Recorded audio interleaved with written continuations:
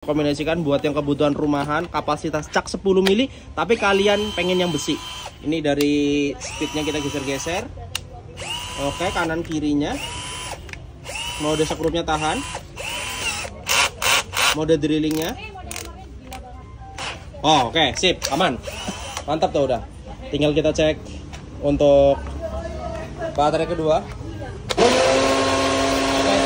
Nah ini kayaknya juga kita bisa ngetes chargernya sama charger yang ini nih. Coba baterainya kita tes charger tiga-tiganya. Ini yang untuk baterai bawaan bor cordless. Lihat warnanya udah merah. Kita lihat berapa ampere. Oh nggak naik, lepas pasang lagi.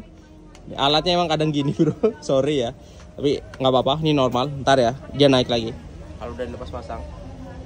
Oke, udah naik. Ternyata 0,5 ampere. Jadi nggak sampai satu, nggak apa-apa. Jadi ini kalian perlu waktu yang lumayan lama 3 jaman